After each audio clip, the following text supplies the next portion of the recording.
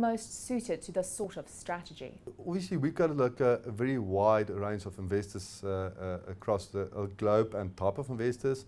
Initially, the focus was very much sort of more the high nets and family offices. After that, we increased in size and scale.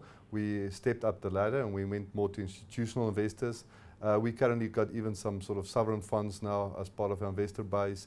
Uh, DFIs like the IFC is one of our investors.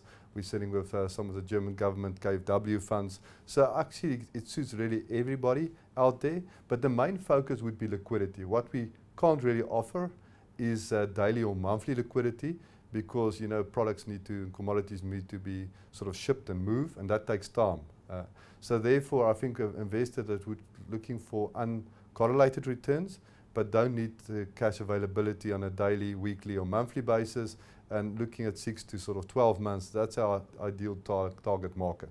So from our point of view, that, that's key. Liquidity, we can't really always offer on a short-term basis, but we do sort of offer the yield, which is targeted around sort of the 8 to 10% dollar returns uncorrelated to equity. So very stable sort of uh, returns uh, over sort of a quite a long period of time.